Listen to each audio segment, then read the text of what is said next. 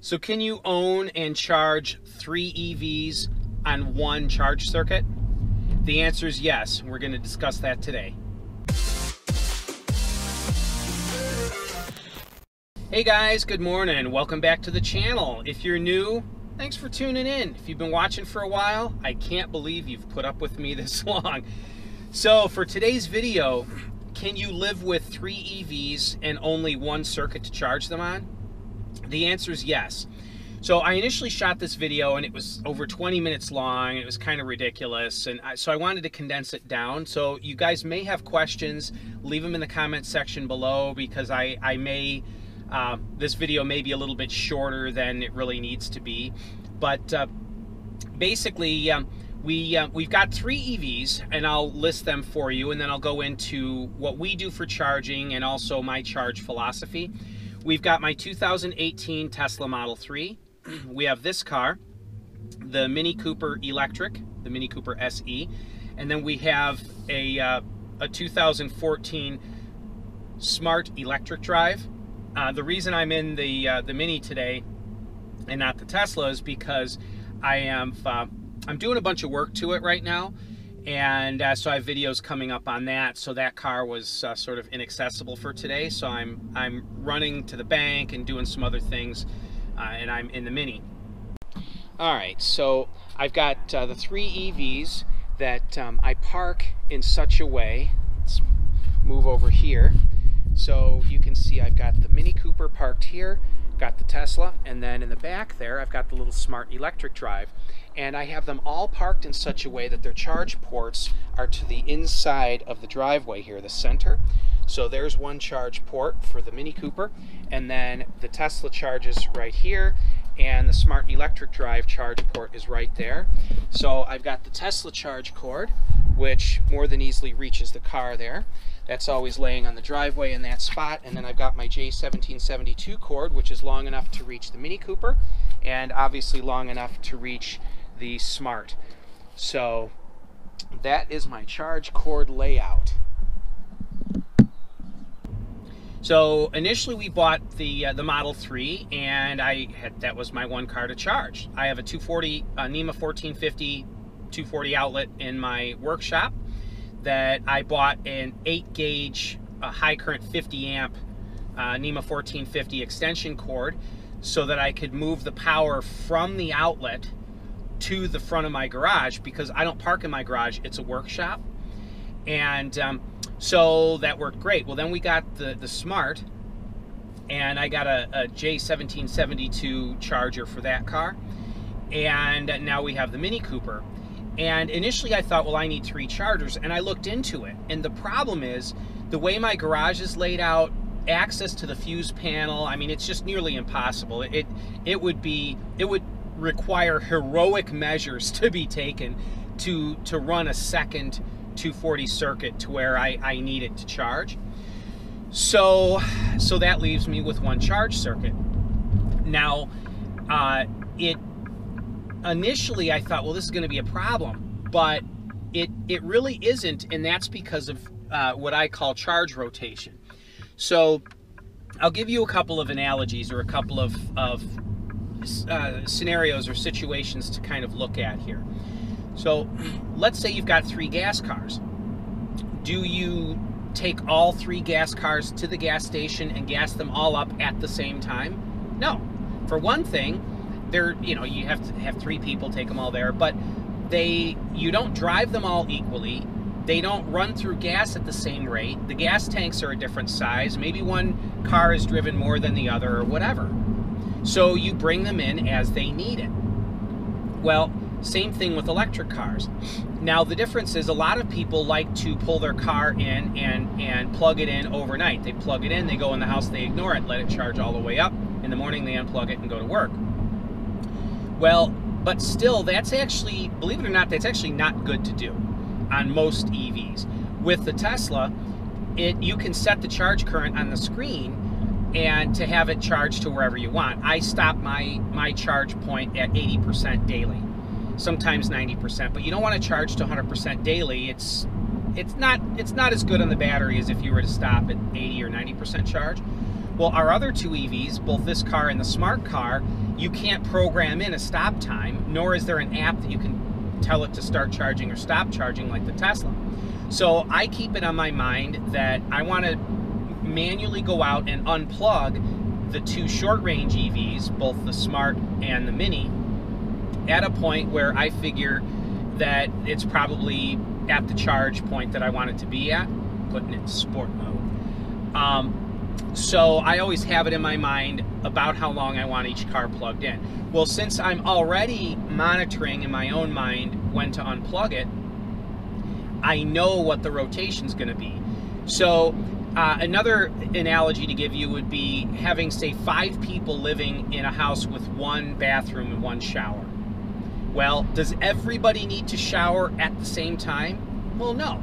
There might be a little interference there, but maybe one person gets up at 6 a.m. and showers so they can get to work at 7. Someone else showers at 7 a.m. so they can get to work at 8. Another person maybe wants to shower at night before they go to bed. Know, everybody's got different schedules. The same holds true for EVs. So here's the way our daily routine. Well, I'll give you a worst case a worst case scenario. So worst case scenario for the most charging we could ever need. I get up for work at about 6 a.m. I go downstairs and in the winter especially, uh, I will go ahead and it the car is at 80%. It's been plugged in overnight. I get up in the morning, it's at 80%. I go into the the app and I turn the charge point up to 90% and I turn the cabin heat on. This starts to add warmth to the battery while it's charging and warms the cabin. Takes about 45 minutes for me to do my paperwork for the day. I get my paperwork done, I leave for work. I unplug the Tesla and I plug in the Mini Cooper for my wife to work or, or to drive for the day. So I leave for work. She gets up, she's going to run her errands. So the car has now been plugged in for 45 minutes or an hour and it's up there pretty high in charge. She unplugs it, plugs in the smart car. She leaves to run errands. My son then, uh, he we homeschool him, but he does some has some classes at the community college, dual enrollment classes. So if he needs to use the smart, by the time he leaves, it's been plugged in for a while. He unplugs it and it's charged. They come home. My wife comes home from running errands. She can plug the the mini back in, but it's probably got plenty of charge but she can always plug it back in. My son's not going to be home till much later. He can come home, unplug the Mini, and plug in the smart car. By the time I get home from work, those cars are charged. And then I can unplug whatever car is currently plugged in, plug the Tesla in, and it will charge. So that would be a worst case scenario. But most days aren't even that way. Most days I get up and I know that there's a 70 or 80% charge on both the Smart and the Mini, so they don't need more charge. And it's healthiest to have the battery set toward the middle of a charge, not up high, so I don't plug them in. I just unplug the Tesla and go to work. My wife gets up, runs her errands. If the smart car needs to be used, it'll get used, but my son only needs to drive 15 miles a day round trip, 20 at the most, so the 64 mile range that the Smart has is way more than he needs. My wife only drives this car 30 miles a day, so the 110 to, well, this actually has more like 125 mile range is way more than she's ever going to use. So it doesn't matter. Even if they leave and each of their cars are at 50% charge, that's still more range than either of them is going to need. So I come home from work, my car is at, say, 40% charge, the Tesla, so I'll plug it in if um, if my wife says that, oh, I'm going to run errands, you want to go with me? I may go out and unplug the Tesla and plug in the, the Mini for half hour, 40 minutes before we leave to peak a little bit of charge. But it's basically, it's never been an issue. There's never been a time yet that I've wanted to charge both cars, or all three cars, I should say, at the same time. Now, here's the thing.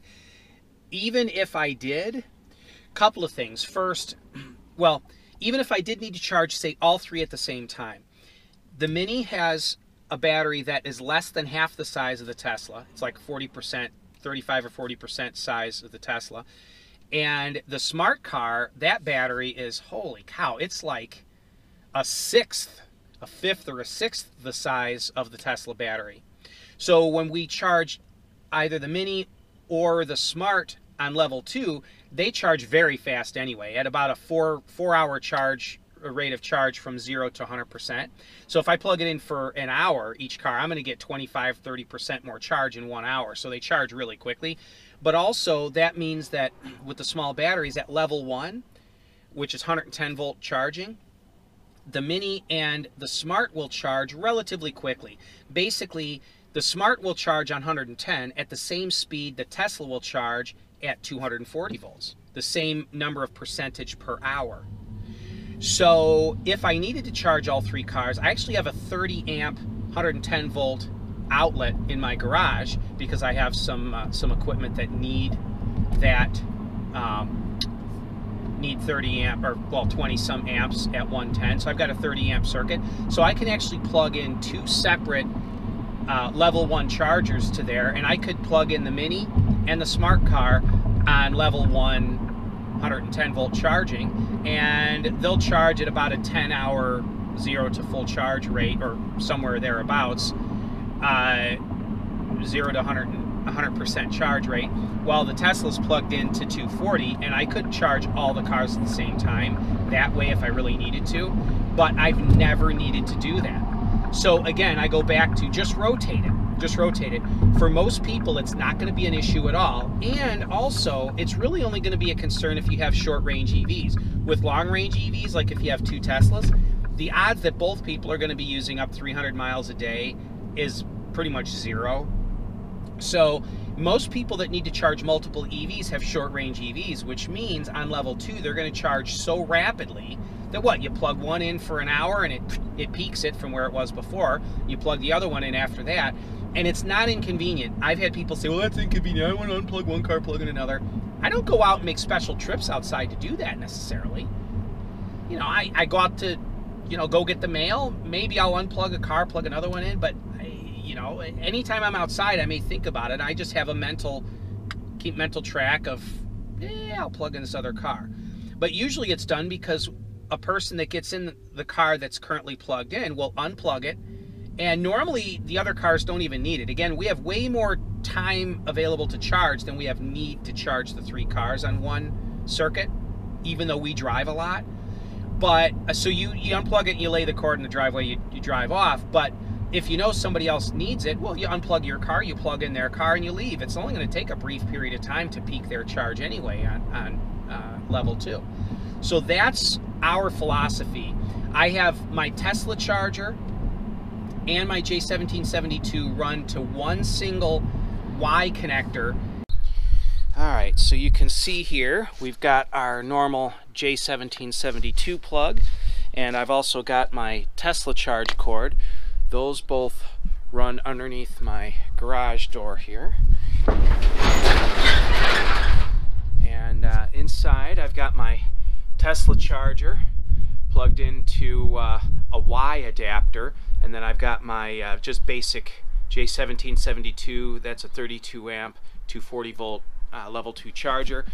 Uh, those both plug into one line one NEMA 14-50 line, and that is 8 gauge wire that I have running all the way back to my fuse box there.